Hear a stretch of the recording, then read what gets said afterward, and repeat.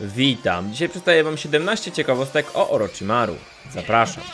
Imię Orochi oznacza dosłownie wielki wąż, a Maru to powszechne zakończenie męskich imion. Również całkiem możliwe, że ma on nazwisko, ponieważ oba imiona jego rodziców są zapisane dwoma kanji. Niestety zła jakość znaków nie pozwala na ich rozszyfrowanie. Co ciekawe, samo dążenie do nieśmiertelności jest również mocno powiązane z wężem, ponieważ w wielu kulturach, zarówno wschodnich, jak i zachodnich, postrzegano węża jako symbol nieśmiertelności i odrodzenia poprzez zrzucanie skóry. Właśnie tak wygląda podpis Orochimaru. Postać Orochimaru dość mocno jest inspirowana japońskimi mitami i literaturą, ale więcej o tym możecie się dowiedzieć z mojego innego odcinka, ponieważ jest tego tak dużo, że szkoda mówić o tym dwa razy. Urodził się 27 października, a jego grupa krwi to B. W pierwszym Naruto miał 50-51 lat, ważył 64 kg i mierzył 179 cm wzrostu, natomiast w Shippudenie miał 54 lata, 172 cm wzrostu i ważył 57 kg.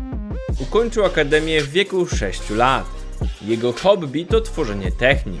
Posiadał aż 4 Kekkei Genkai, mianowicie Kekkei Genkai klanu Jugo, Sakona i Ukona, Shikotsumiaku oraz Mokutona. Według databuków chce walczyć z każdym, kto posiada jakieś użyteczne techniki. Potrafi używać wszystkich podstawowych natur czakry, a także yin oraz yang. Jego ulubionym jedzeniem są jajka, natomiast najmniej lubi zimne potrawy. Ukończył aż 1468 oficjalnych misji, 16 rangi D, 332 rangi C, 521 rangi B, 491 rangi A oraz 108 rangi S. Masashi Kishimoto wzorował się Hisoką z Hunter x Hunter przy tworzeniu Orochimaru.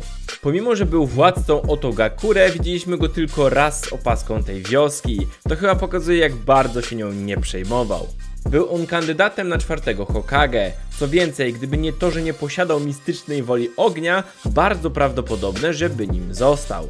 Co ciekawe, jest jedyny z trójki Saninów, który ma dzieci, a jednocześnie moim osobistym zdaniem najmniej się do tego z nich nadaje. Orochimaru miał nigdy nie powstać. To redaktorzy Kishimoto namówili go, aby stworzył takiego złoczyńcę. Moim zdaniem to było bardzo dobre posunięcie, a waszym?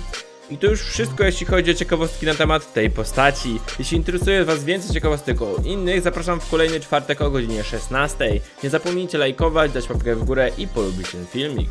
Cześć!